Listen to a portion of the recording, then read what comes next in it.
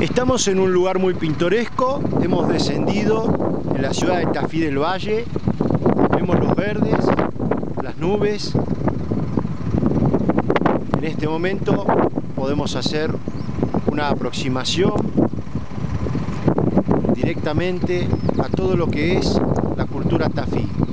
Estamos ubicados, como ustedes lo ven, cuatro micros de la empresa Conquija en la terminal de ómnibus de Tafí del Valle, provincia de Tucumán.